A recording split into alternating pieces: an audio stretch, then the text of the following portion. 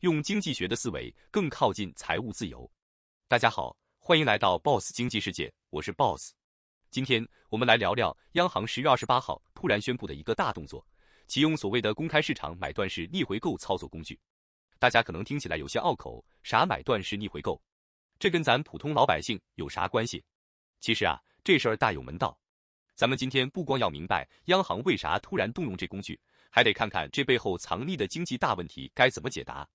你们知道，本频道的风格就是咱不整教科书上的那些复杂高深的理论，而是直击痛处，轻松聊懂背后的门道。首先，咱先搞清楚事情的背景。中国人民银行决定启用这个买断式逆回购工具，目的挺明确，维护银行体系的流动性合理充裕。说白了，就是要往市场上注入资金。这听起来好像是个积极的举措，但别急，先往下听。逆回购目标啥？就是央行通过购买国债、地方政府债券、金融债券和企业债券，直接向一级市场的交易商，也就是那些大金融机构提供流动性。本质上这就是印钱，但是是精细化操作，针对的具体是那些国有大行、商业银行等等。咱马上得问一句，那这些银行为啥突然需要央行这么频繁的输血呢？我们平时说银行业，尤其在中国，表面上风光无限，动辄利润几千亿，咋还会缺流动性？其实啊。这背后是中国金融体系的虚假繁荣。中国的房地产、基建这些年吸了多少银行的血？房地产行业脆弱不堪的贷款大山压得银行喘不过气。别看政府口口声声喊房住不炒，但每一次房企暴雷、地方债务危机，最后都得靠银行去兜底。这么一来，银行资金被死死的锁住，纸面上的资产很大，但能流动的资金却少得可怜。所以呢，银行的资金流动性变得极为紧张。特别是房地产这两年持续走低，各大房企接连破产，银行手头那些被抵押的物业资产啊，卖也卖不出去，借也借不出来，活活成了烫手山芋。这就解释了为什么人民银行要向市场注入流动性了。银行必须得补充流动资金，否则这些庞然大物容易出大问题。这就是为什么央行有了这次逆回购的大动作。但问题是，注水能起到根本的改变吗？传说中的买断是逆回购操作，很像是央行为了救急推出的一种应急措施。但呢，这个灵丹妙药治标不治本。先来看一组数据做对比：二零二三年中国的银行业表面上富得流油，中国五大行二零二三年的净利润超过一万亿人民币，这看起来简直富得流油。但让我们来看看他们的资产负债表真实的情况如何。光鲜亮丽的数据背后是不断膨胀的坏账率。根据银保监会的统计。截至二零二三年末，国内商业银行的不良贷款余额高达三点四万亿元人民币，不良贷款率大约在百分之二左右。这还是公开的数字。实际上，由于房地产市场和地方政府债务的扩张，部分业内人士估计，实际的不良贷款比例可能更高。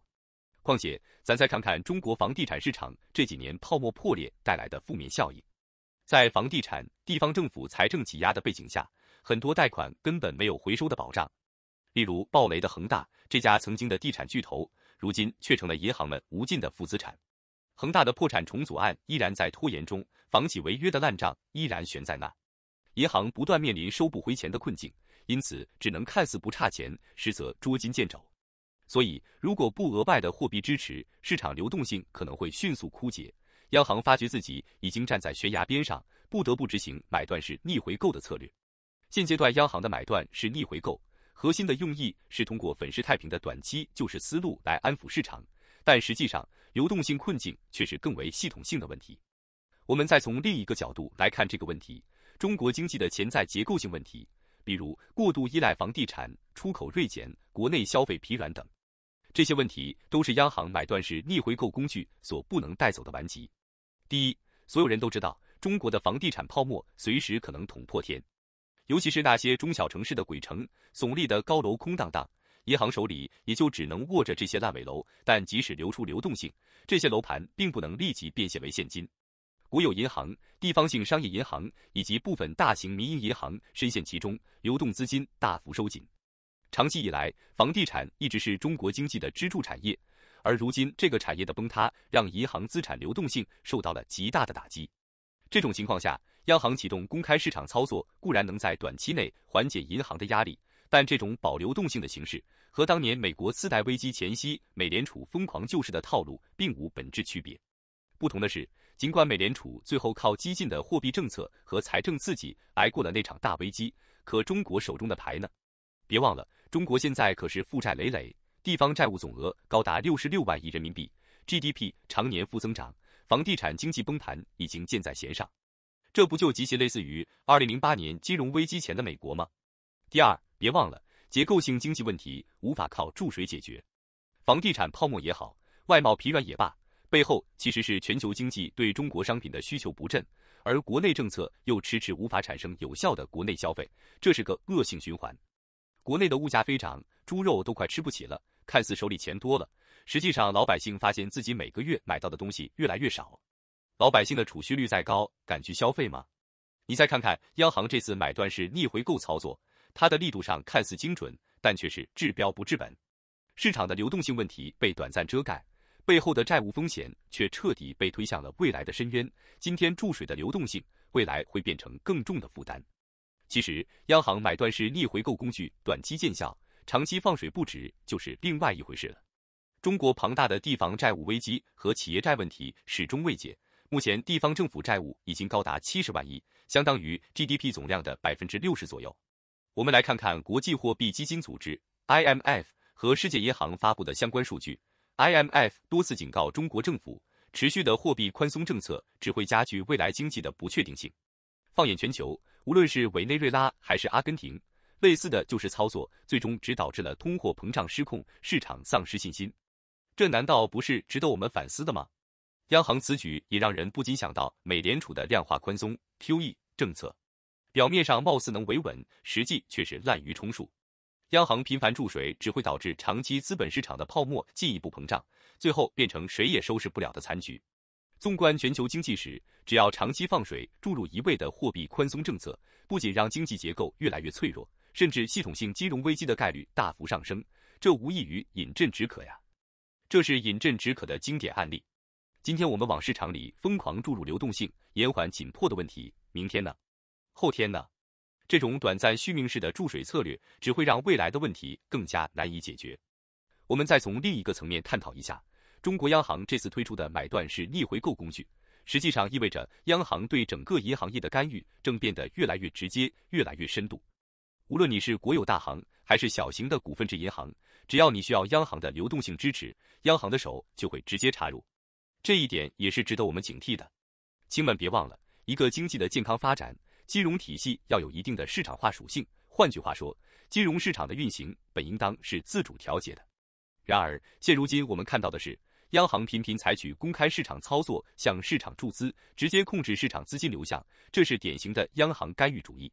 你们可能觉得央妈出手总比不管好，但事实是，央行过度干预通常会导致银行体系失去自主调节能力及过度依赖政策支持。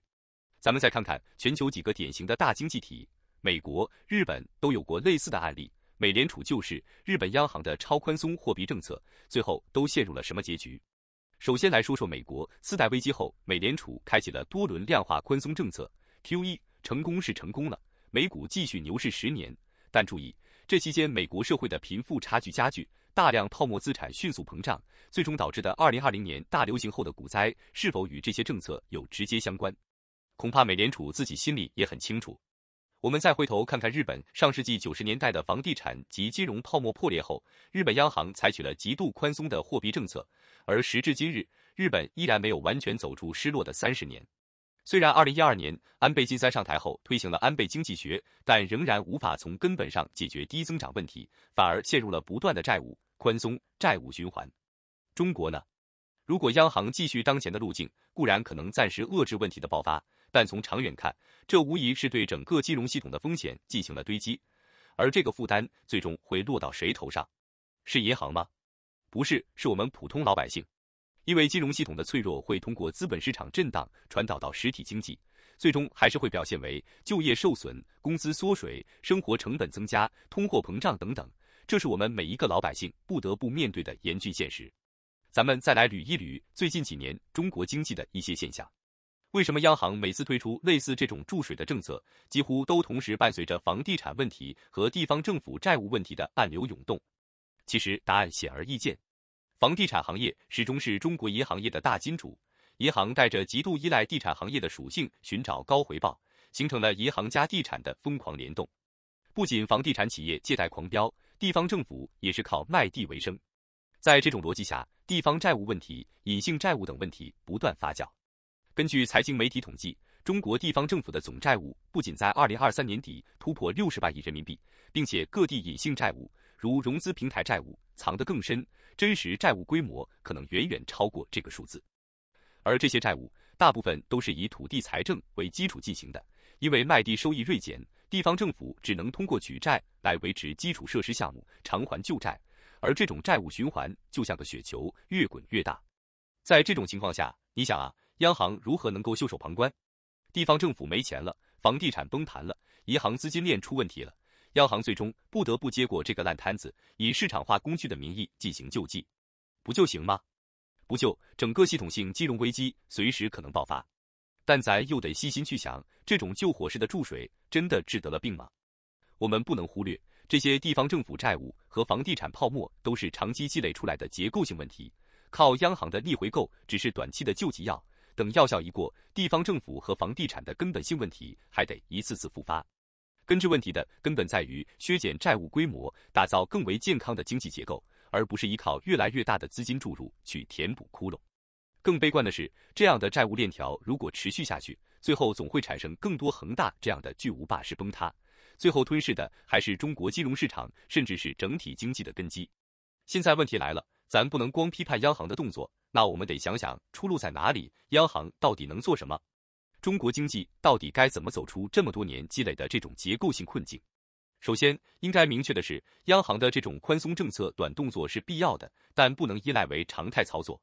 短期内靠印钱解决流动性问题可以理解，但长期大量的资金注入只会制造更大的资产泡沫。比如房价、股市的虚上涨，最终形成泡沫危机。解决问题的根本，还是要从长远的经济结构调整入手。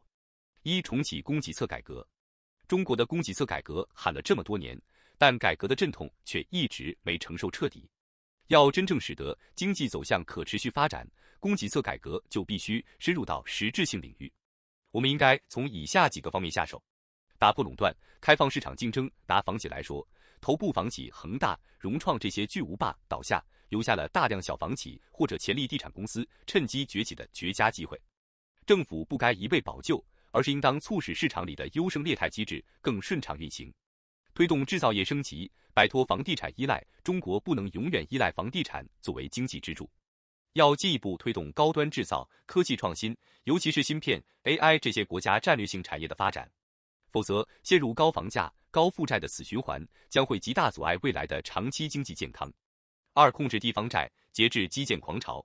地方债的问题如果不加以限制，早晚这个定时炸弹会引爆。中国的基建推动实在已经到了过剩的边缘，很多地方为了继续发展，推出了大量没有利润的基建项目。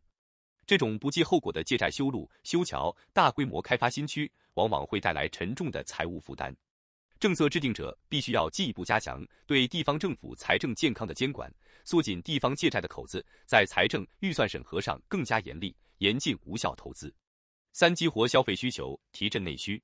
中国的内需之所以没法提振，根本的问题在于居民收入增长太慢，而高房价、高生活成本、社会保障不足，让老百姓不敢花钱。央行和政府或许可以拿出更多具体的措施去促使消费。例如，提高社会福利保障，降低住房成本，创造新形式的消费场景等，让老百姓真正敢花钱。假如内需能真正激活，势必会为中国经济注入新的长期活力。央行的买断是逆回购操作，的确是标志着它在金融市场上使出了一个显著的应急工具，短期可能看到效果。但在货币宽松的背后，我们不得不清楚地认识到，中国经济的结构性问题不可能靠注入流动性解决。而对咱普通老百姓来说，看到今天这般救市动作，或许能够略微松口气，但更长远的忧虑还在后头。高房价能降吗？消费能够提振吗？银行的风险会不会继续积累？这些都是未知数。现在的一草一木，看的可能是今天救市的成果，但背后却是关乎中国经济未来的大考验。说到这里，大家是如何看待央行启用公开市场买断式逆回购操作工具这件事的呢？欢迎在评论区留言，和大家分享您的观点。好了，今天就先聊到这里。如果你喜欢我的节目，请点赞、分享、订阅，并点开小铃铛，选择全部。我是 Boss，下期节目再见。